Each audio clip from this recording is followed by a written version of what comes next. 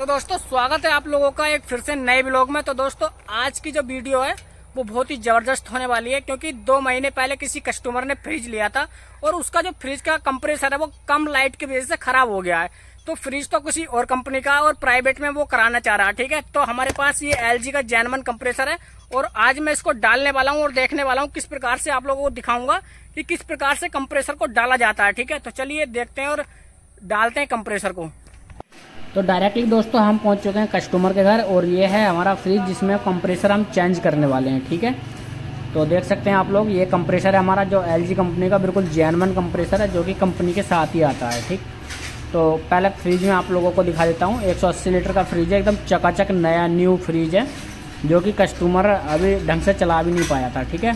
तो इसका कंप्रेसर हम चेंज करेंगे आज। सबसे पहले देखिए क्या करेंगे ये जो नट होते हैं, सबसे पहले इसके तार वगैरह हटा देने आप लोगों को, वो तो आराम से आप लोग हटा सकते हैं। उसके बाद कंप्रेसर खिंचा हुआ होता है नटों में, आप देख सकते हैं आप लोग। ये नट आप लोग पेचकस की या प्लास की मदद से बहुत ही आराम से खोल लेंगे, कोई दिक्कत नहीं होगी। खोलने के बाद इसके होते हैं मैं पाइप निकाल लें। तो मैं मानता हूँ दोस्तों, कुछ लोग पाइप काटते हैं तो आप लोग पाइप काटे नहीं। पाइप को काटने से पहले सक्रिय उसकी गैस निकाल देनी चाहिए। उसके बाद इस सिलेंडर से जैसे मैं निकाल रहा हूँ इस सिलेंडर से आप लोगों को बड़े आसान तरीके से ये पाइप जब इसको गर्म करेंगे तो हमारे इस प्रकार से पाइप निकल जाएँगे, ठीक है? आप लोग देख सकते हैं। दोनों पाइप निकल चुके हैं। अब हमें इसमें से कंप्रेसर बाहर निकाल लेना है। इसको मैं एकलम कर देता हूँ और गरम गरम कंप्रेसर को यानी कि इसको बाहर एकदम हटा देता हूँ। देखिए इस प्रकार से। और ये वीडियो आप लोगों को फुल मिलेगी विथ गैस समीत गैस भी मैं आप लोगों को किस प्रकार से भरी जाती है, इसी वीडियो में बताऊँगा। ये हमारे पास एलजी का न्यू कंप्रेसर है, देखते हैं इसके साथ क्या क्या मिलता है। सबसे पहले इसके साथ एक बिल आएगा, जो कि हमारा एक बिल होता है। कितने का है, कितने का उसके बाद कुछ इस तरीके से हमारा ओरिजिनल कंप्रेसर पैक आता है, एकदम पन्नी पैक ठीक है? उसके बाद ये इसका बिल वगैरह, यानी कागज़ वगैरह आते हैं, ये पन्नी आती है, और ये आता है हमारा एक कंप्रेसर देखिए, ये है हमारा कंप्रेसर ठीक है? जो एलजी ब्रांड है, इसके अंदर और कुछ नहीं सिर्फ़ गत्ता है, गत्ते के अंदर। और ये हमारी जो पन्नी में पैक है, इसमें भी मैं आप लोगों को दिखाऊँगा। फाड़ का एक बार क्या क्या सामान दिया हुआ है।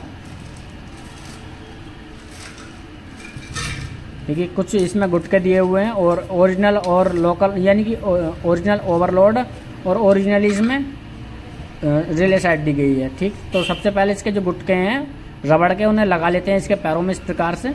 सारे गुटके हम लगा लेंगे। उसके बाद जिस प्रकार से निकाला था, उसी प्रकार से हम कंप्रेसर को बैठा देंगे। अब देखिए, हमारा जो कंप्रेसर है, बहुत ही आराम से बैठ चुका है। उसके बाद ये वाले जो इसकी रबड़ होती है, उनको बड़े ही आसानी से निकाल देंगे, बाहर को कर देंगे।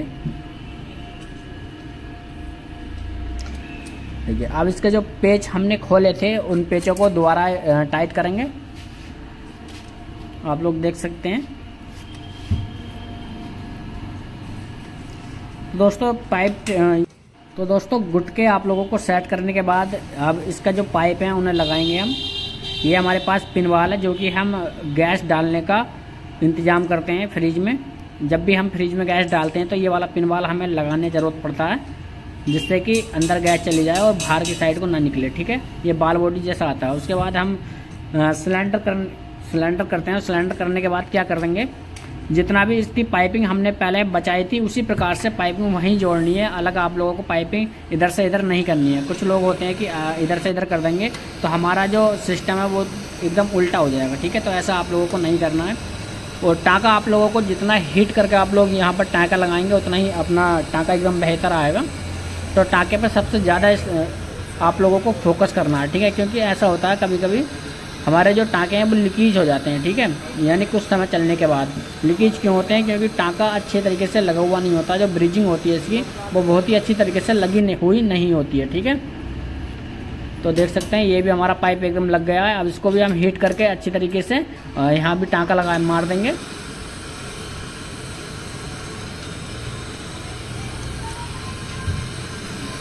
देखिए पाइप हमारा हीट हो चुका है। अब यहाँ पर हम टाँका टाँका मारेंगे।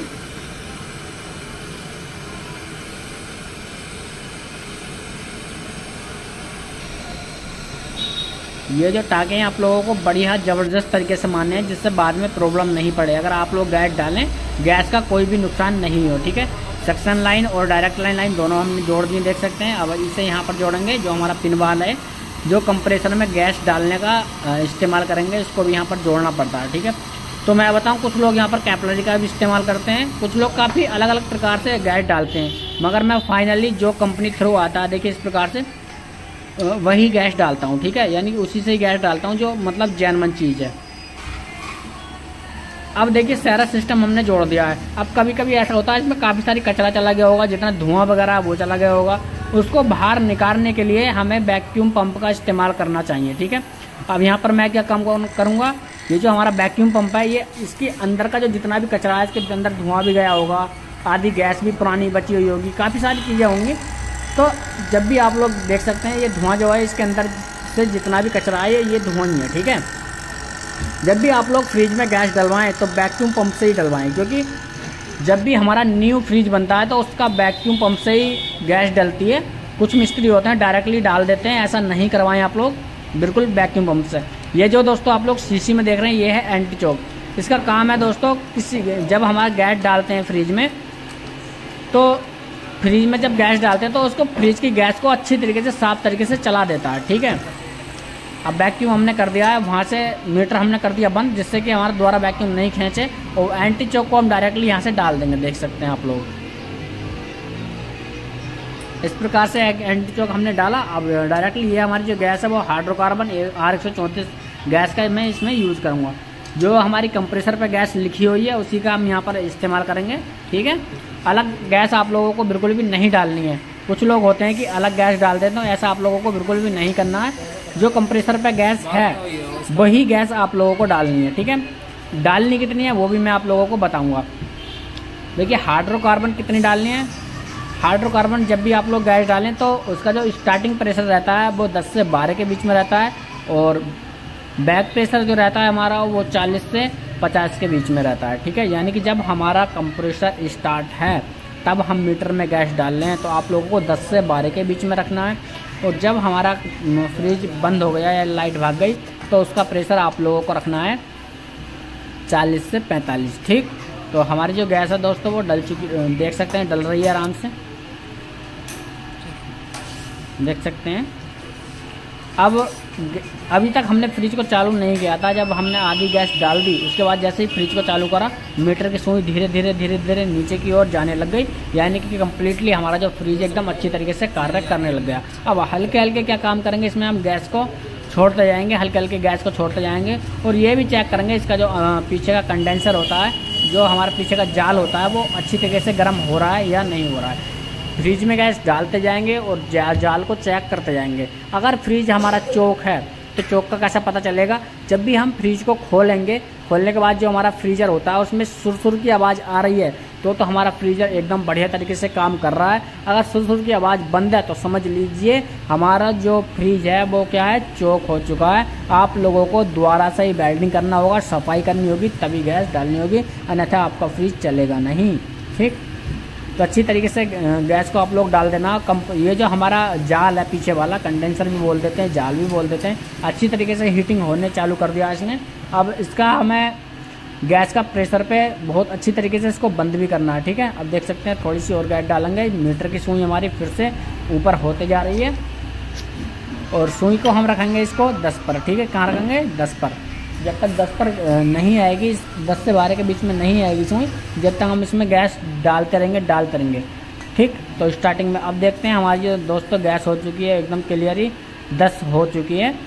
देख सकते हैं आप लोग, मीटर का जो दिखा रहा है, मैं दिखा देता हूँ, पाँच से दस हो चुकी है। यानी कि फ्रिज के अंदर गैस एकदम क्लियरी ज़बरदस्त हो चुकी है। अब नल की हम डायरेक्टली खोल देंगे। तो दोस्तों, मैं मानता हूँ, वीडियो आप लोगों को बहुत ही ज़बरदस्त लगी होगी।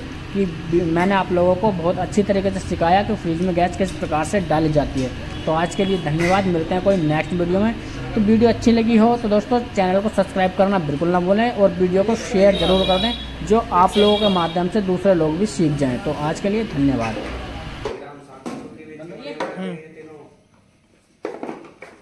कौन सा लेगा कोई से नहीं दिया